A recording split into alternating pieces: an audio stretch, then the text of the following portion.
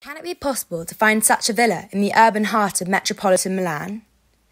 Indeed, when you enter the grand garden or pause in the shade of the tall magnolias, follow the footpaths and enter through the iron railings, time loosens its grip and your step slows. This is the achievement of three owners who in 1932 commissioned the architect Piero Portaluppi to design the Villa Necchi Campiglio and then in 2001 donated it to FAI so that it could welcome visitors from all over the world, and those who are FAI members enter it for free. Wandering through the villa's garden setting, you see Martini's sculpture, part of a wonderful collection of 20th century works left to the villa by the gallerist Claudia Gianferrari. Within the gardens, one may enjoy a break in the coffee bar, either before or after exploring the house itself. Once inside it, you will find other works by leading masters of the 20th century, like Sironi, De Chirico, Morandi, Savinio. Within the house, you will discover the salons in which the owners, the Necchi Campiglio family, dwelled. You can imagine them seated on a sofa for a chat, or leafing through a book from the shelves of the library. Picture their lives within this perfect architectural machine, created by Piero Portaluppi in 1935 and characterized by a modernity that is thorough, innovative, and ultra new for its period. Marvel, for example, at the ingenious security doors of the veranda, formed from precious materials. The richness of this house lies in its lavish materials brass, fine marbles, and a playful use of precious woods. Using marble, Portaluppi created a tartan pattern. He inserted a conservatory between the two rows of windows. Another architect, Tommaso Buzzi, came after him in the 1950s.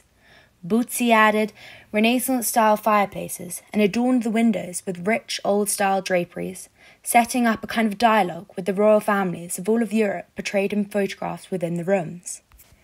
In the dining room, picture the Necchi sisters, beneficiaries of the famous sewing machine company, and Campiglio, master of the house, with the letter C personalizing the dinner service.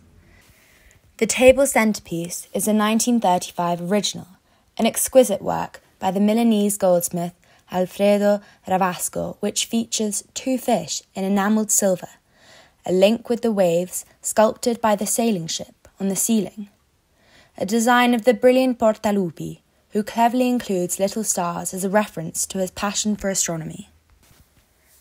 But now, let us leave the ground floor reception rooms and go up to the floor above to see the owner's private quarters. As we ascend Portaluppi's great stair, we get a better look at Arturo's Martini's sculpture, The Dead Lover, which touches us from above.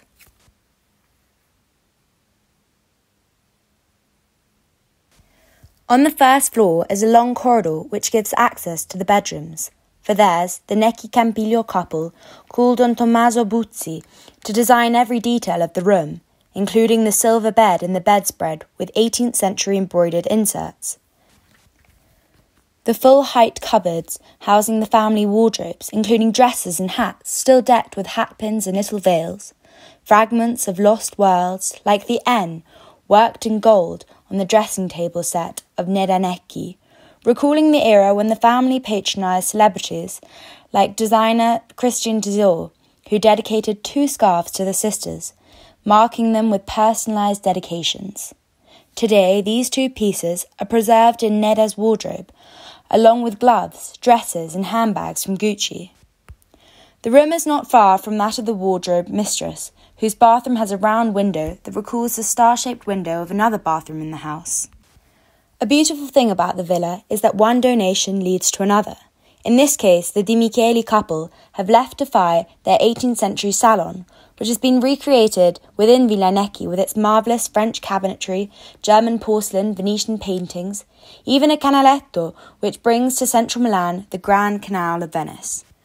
Meanwhile, Portaluppi's meridian reminds us that time passes and that Milanese architecture follows its unstoppable course towards modernity without ever betraying the villa's 20th century heart.